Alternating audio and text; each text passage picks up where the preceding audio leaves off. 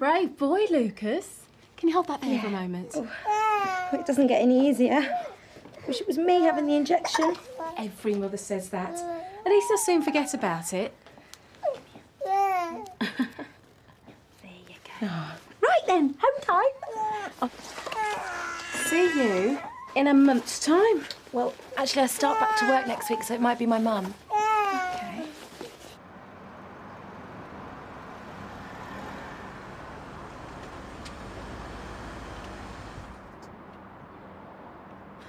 Just hopeless with kids. Every time I pick my little niece up, she cries. That's what babies do. You just need to distract them. Give them a bit of stimulation. That's my lunch. Visual stimulation, watch.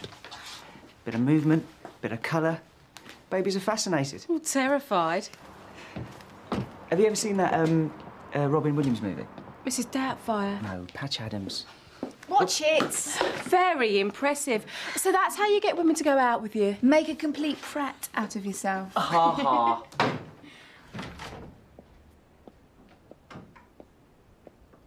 Well, hello down there. Uh, hello. And who might you be? Rana, um, uh, Mistry, Dr. Mistry. Of course you are. My daughter's told me all about you. Really? Ah, so this is Riverside. Lots of pretty colors. Very jolly. Um, can I help you? Yes, I'm here to see Dr. Powers. Do you have an appointment? Oh, I don't think I need an appointment. What the hell are you doing here? You just see her. She's here. Who? Caroline's mother. Come on. Too late. You missed her. Why didn't you call me earlier? There was no time. Well, what's she like? Oh, dead posh. And dead sophisticated. I'll tell you something, she reeks of money. Trust you. And Rana made such a good first impression. You just wait till you meet her. Do you think they'll be long? Well, Caroline's got a patient in five minutes.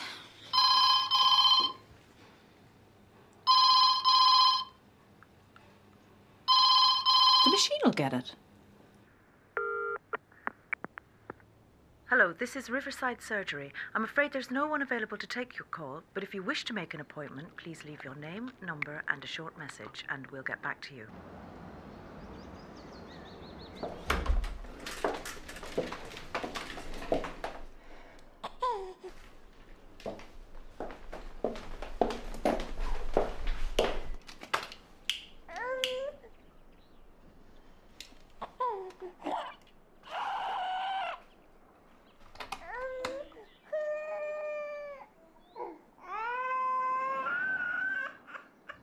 This is cute.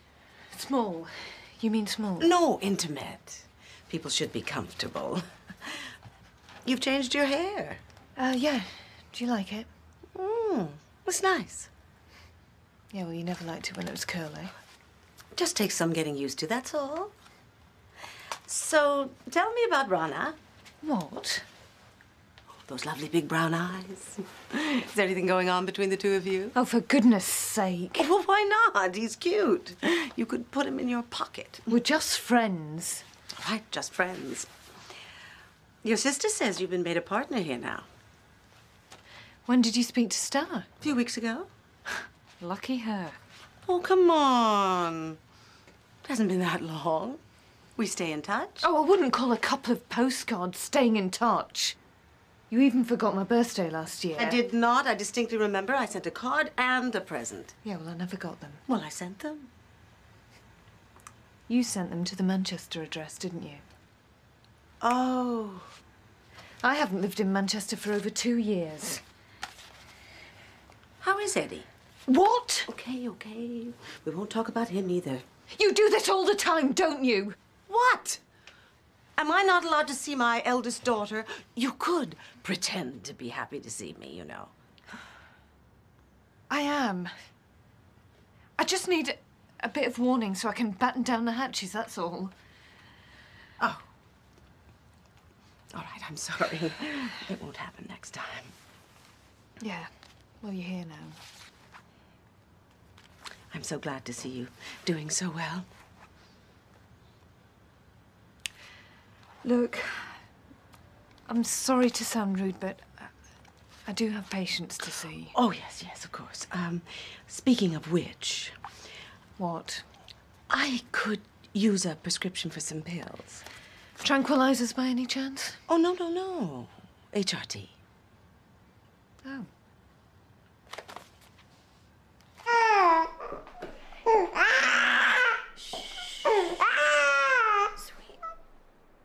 Oh, you're burning up.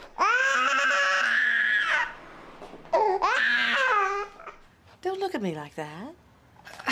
No, no, I, I- I mean, I'm just curious.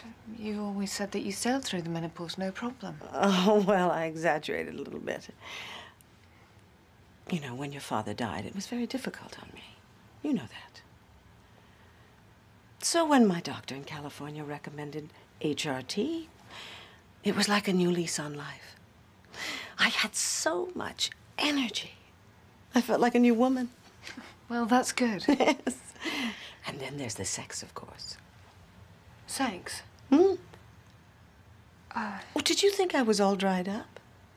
No. No, of course not. I, well, I, I'm glad that you've And got it's a... very good sex as well.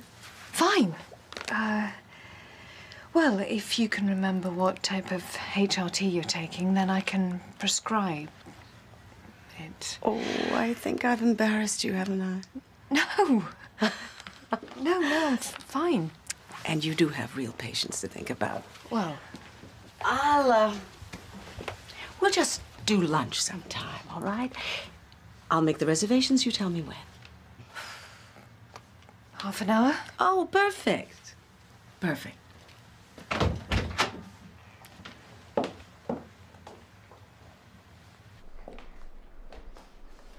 Um, soon after we got home. It must be the vaccination. Please, I'm, I'm really worried. Okay. I'll get a doctor to come out to you as soon as possible. Don't worry.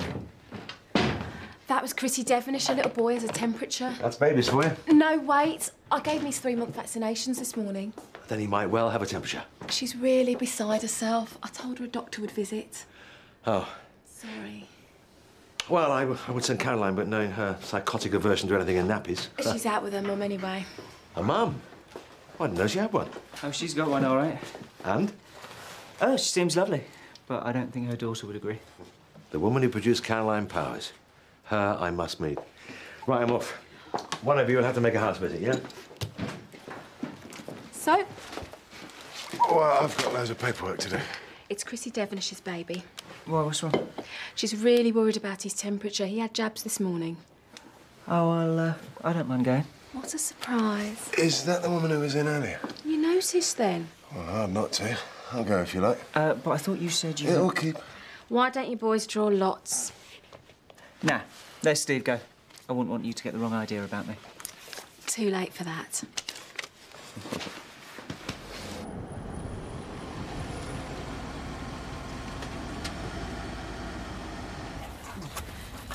Uh, uh, uh, wait, wait, wait. Oh, I forgot. The Jane Powers makeup check.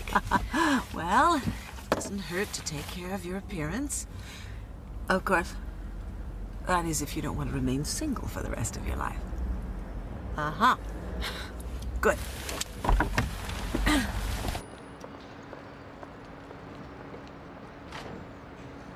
Oh, uh, two glasses of champagne, please. Darling, I'll just have the soup, please. you must have more than that. Why? Because this is meant to be a very good restaurant. And anyway, you should eat properly. I do. All right. Uh, I'll have the sea bass. Good. So will I. Thanks. Thank you. Well, I must say, Leatherbridge is certainly coming up in the world. This place is very smart. Yeah, well, most of us around here make do with meat pies and mushy peas. That's not what I meant. I know what you meant. Well, if our first meeting in two years is something to celebrate, we should drink to it. Cheers. Cheers.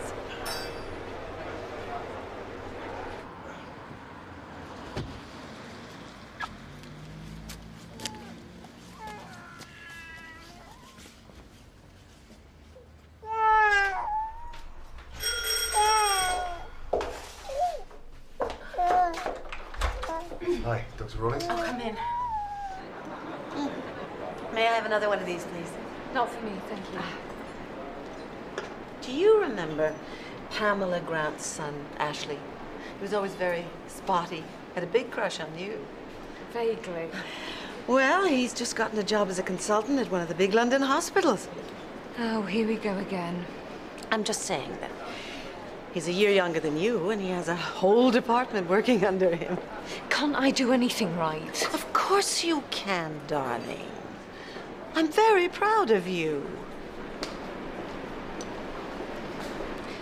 Well, anyway, let's talk about you. How's the business? Ah, it's going quite well.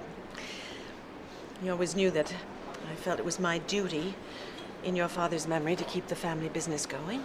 Yeah, of course. It's been hard work, but Oh, yeah, it must be tough. Doing all those property deals from Miami Beach. I'm sorry. So, how's your social life? what do you mean? Well, you mentioned your sex life earlier. Not that I want to go into any gory details or anything, but are you seeing someone? Uh, well, uh, it's, um, it's actually a little bit more than that. He's got a bit of a temperature, but Yeah, I thought so. You're so hot. 102. Oh, that's high. Well, that's probably a minor reaction to the jabs. You sure? Yeah. If you do get worried, just give the surgery a ring. There you go. He's happy enough now, aren't you? Um, do you want a coffee before you go? Yeah, I'd love one. I've got a few minutes. His name is David, and we're going to be married in a fortnight's time. And I, I, it would mean a great deal to me if you would come. Really? Of course. Two weeks? Yes. Well, when did you meet this man? Six months ago. well, you haven't wasted much time, have you? Well, we're very much in love, and I, I see. I'm dying to have you meet him. I know you'll love him. Well, what did Stella say? She's booking a ticket right now. Right. You will come, won't you? Where is it? Well, it's in a registry office not very far from here. Oh, please come. I'm not sure. Your blessing means a great deal to me. Yeah. And your blessing was important to me when I got married. but did I get it? No. What's that supposed to mean? Cast your mind back. You might remember receiving an invitation for my wedding. Of course I do. It was unforgivable. I should have been there. Yeah, but you weren't, were you? No. Do you know how that made me feel? Darling, it had nothing to do with you. It was my wedding. You know how I felt about Eddie. Don't. He hurt you very much, didn't he? What do you care? I'm gonna get some air.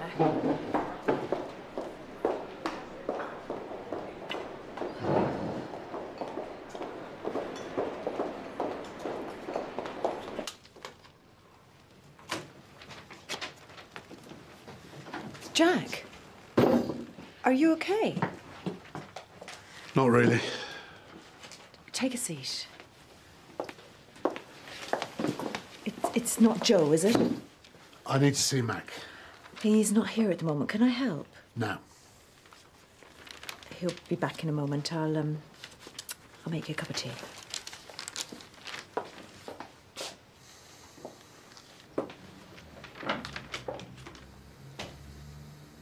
Caroline, don't just walk away.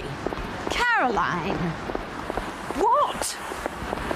You're overreacting. Oh, yeah, Caroline in the wrong again. What a surprise. Why do you always take things so personally? Because it is personal. I wear the wrong clothes. I've got the wrong job. I married the wrong man. You are the one who said that Eddie was the wrong person. Why can't you just accept me for what I am? You are acting like an adolescent. Oh, that's rich coming from you, acting like a lovesick teenager. Don't forget to get that little last jab in. Your father spoiled you. That's the problem. Look at us. Just look at us. How long did it take us this time, Mum? Oh, baby. So I start back on Wednesday. I'm gonna miss Lucas, but we really need the money, so. Who's looking after him? My mum, she only lives around the corner. Oh, it's Mark. He was really worried about Lucas. How is he? Oh, he's fine. He's uh, he's just got a bit of a cold and probably a minor reaction to the jab. You wouldn't listen, would you? What are you talking about? It's your fault. It's these. That's what's making him ill. She never stops. It's one after the other. Mark! She won't stop.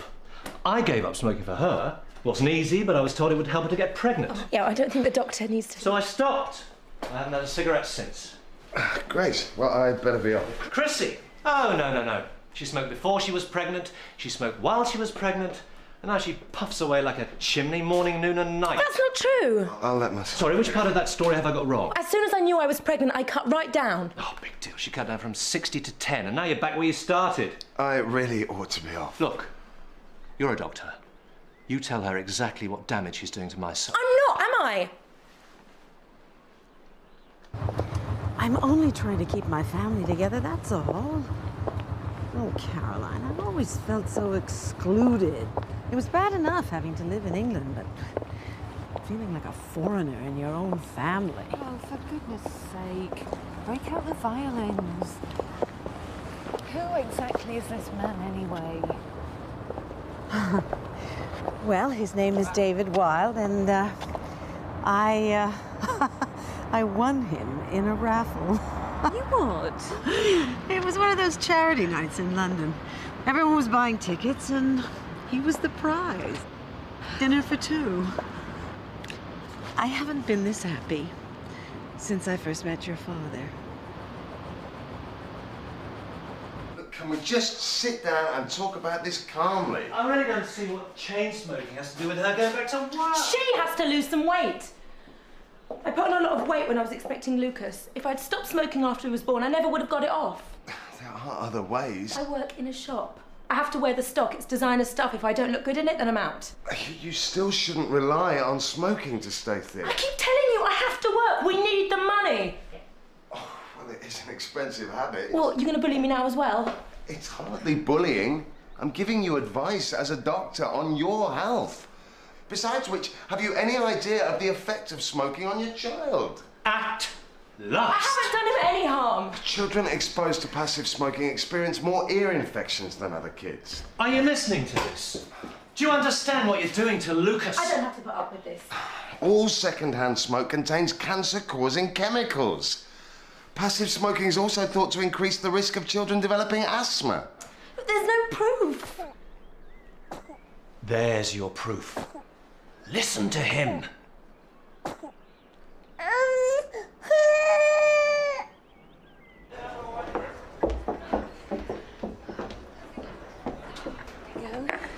Thanks. Uh, here's the invitation. Please, think about it. I still don't understand what the hurry is. Well, I'm not getting any younger, am I? Yeah, but still. When a man like David asks you to marry him, you don't hang around. So what does he do? He's in the brewery business. Right. And? And, uh, he's a real romantic. And a gentleman. He does all those lovely little things I thought men stopped doing years ago. We're going on an around the world cruise for our honeymoon. Wow. So, who's paying? Why should that matter? You are. But I want to. There you go. Take a seat. I'd rather stand. Okay. I really. Um, I don't know where to begin. I really thought I knew my girl, Mac. I brought Joe up to know what was right. Now I don't know her at all. She lied and she let you take the blame. Why didn't she say something? Because she was scared. So what does that say about me and how I brought her up? How could she do this? That's all I've been able to ask myself ever since you told me. How could she? Jack, this is not your fault. What she did was wrong, indisputably. But what does it tell you about her? That she's compassionate, that she cares? I'd say you brought them up pretty well. I've lost my mum, and now I'm going to lose my daughter. Hey, hey, hey. come on, come on. Ah, I can't get through to her. You're a doctor. Tell her to stop smoking. I've told her the facts. The rest is up to Chrissy. Well, I don't want to be drawn into a marital squabble. I've got better things to do. At the end of the day, Chrissy, it's your decision. But my son is being affected by it as well. You're his doctor. Don't go lecturing me about my professional responsibilities. There's no evidence that really. Oh, come on, you're fooling yourself, Chrissy. Now, I've told you the consequences of smoking around your baby. You have to decide what to do next. See? Oh, I've had enough of this. Why don't you tell the doctor about your dirty habit and why we're so broke and why we have to sell our house? I don't know what you're talking about. You know what I mean. This man spends half his salary at the casino. You got any advice for him? This isn't getting us anywhere. That's because you won't listen to reason. She's an addict. So are you! Will you both sit down and shut up?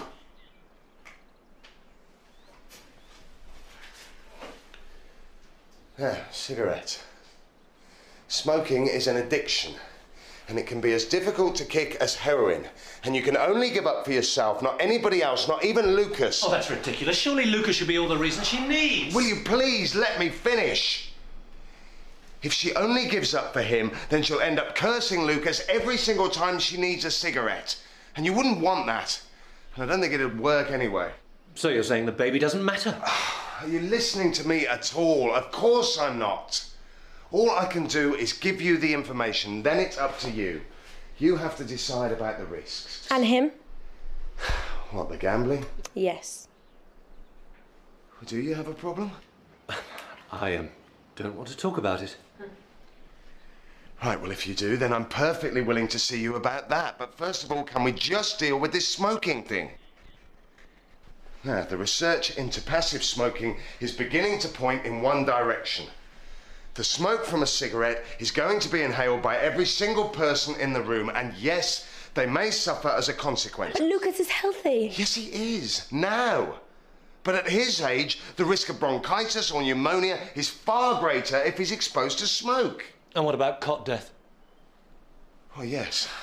I don't want to be a scaremonger, but it is a factor. And the more you smoke each day, the greater the risk. Well, I try not to smoke around Lucas. Good. But you're not saying that it's. 50 years ago, people thought that smoking was healthy. It clearly isn't true. If I had kids, I just wouldn't take the chance.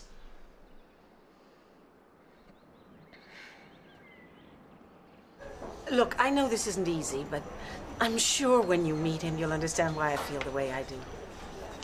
Yeah. So, I thought maybe tomorrow evening. You are free, aren't you?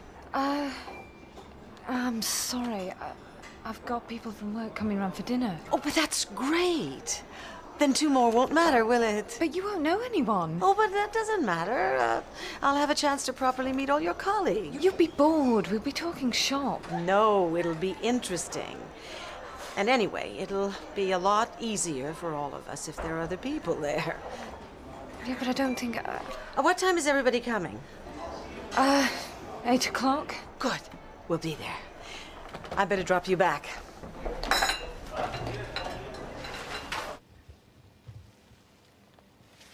What she put you through.